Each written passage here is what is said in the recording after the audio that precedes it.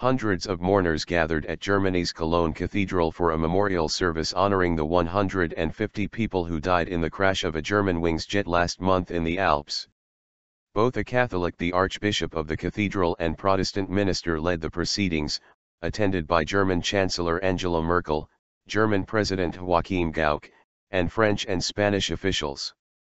Employees of the Germanwings airline and its parent company, Lufthansa, were also in attendance. Flags flew at half-staff around the country in tribute to the victims of the crash. Co-pilot Andreas Lubitz is believed to have deliberately crashed the plane into the French Alps March 24 while he was alone in the cockpit. All 150 people on board the flight, headed from Barcelona to Dusseldorf, are believed dead.